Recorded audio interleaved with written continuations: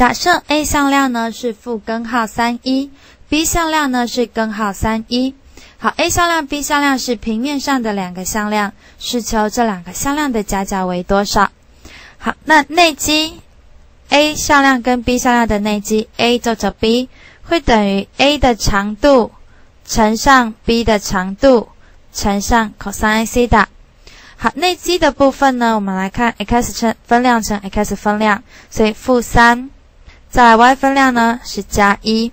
好，再来 a 的长度，a 向量的长度呢等于 x 分量的平方，负根号三的平方呢就等于三。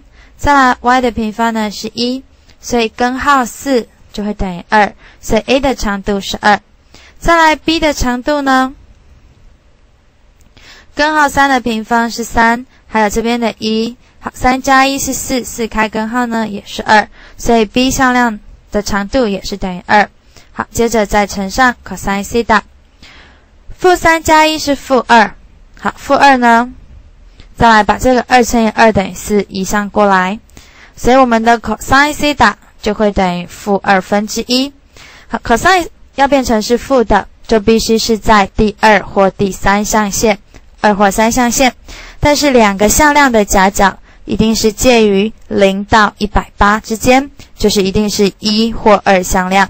所以呢，这边我们综合起来，西塔就是在第二象限的。好，那第二象限的什么角？西塔呢会等于负二分之一。我们就可以来画一下，在第二象限，而 cosine 的值等于二分之一。好，那这边呢，因为是第二象限，所以一的地方要加一个负号，所以二分之负一。这个角呢，参考角是六十度，所以我们的西大角为多少？